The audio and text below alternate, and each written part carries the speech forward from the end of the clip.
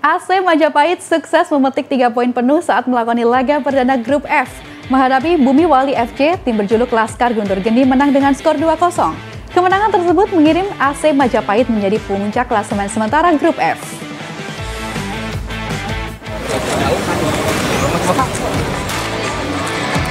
Laga grup F antara AC Majapahit kontra Bumi Wali FC berlangsung di Stadion Gajah Mada Mojosari, Kabupaten Mojokerto.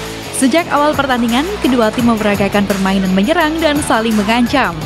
Di menit ke-19, pelanggaran pemain belakang Bumi Wali FC berbuah tendangan bebas untuk AC Majapahit.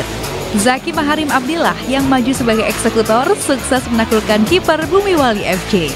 AC Majapahit memimpin 1-0 hingga turun minum. Di babak kedua, permainan sengit kembali tersaji. Bumi Wali FC yang tertinggal berupaya membalas. Namun alih-alih mencetak gol penyeimbang, gawang mereka justru kembali kebobolan. Di menit ke-54, Zaki Maharim Abdillah kembali mencatatkan namanya di papan skor. AC Majapahit unggul 2-0 dan bertahan hingga laga usai. Poin dari laga ini mengirim AC Majapahit ke puncak klasemen sementara grup F dengan tiga poin. Unggul selisih gol dari Mojosari Putra dan Bumi Wali FC yang juga mengemas 3 poin. Meski meraih poin penuh di laga perdana, pelatih AC Majapahit Ambitie Dolus Cahyana meminta untuk tak berbuat diri dan tetap fokus menghadapi laga berikutnya.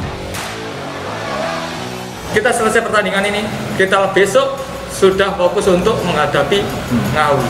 Jadi kesenangan, syukur itu udah selesai. Besok kita fokus ke Ngawi. Karena satu pertandingan tidak akan cukup. Kita di sini bermain empat kali. Kita harus memenangkan semuanya. Bagi pelatih Hui Wali FC Ainur Rofiq, kekalahan ini memberi pelajaran sebagai bahan evaluasi agar tampil lebih baik di pertandingan berikutnya.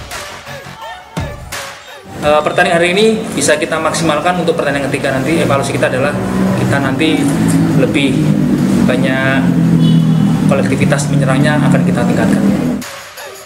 Di pertandingan berikutnya, AC Majapahit akan menghadapi Ngawi FC pada Rabu 10 November pukul 13 lewat 15 menit. Sementara di hari yang sama, Miwali FC akan menghadapi tuan rumah Mojosari Putra pukul 15 lewat 15 menit. Aminuddin Ilham, CTV. আপনারা।